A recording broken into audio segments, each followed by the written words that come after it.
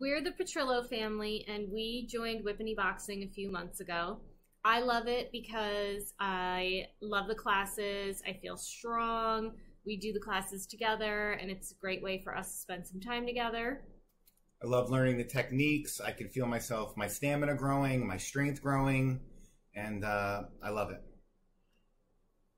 I like the kids' classes because it's really, really fun, and I love Alec as my teacher.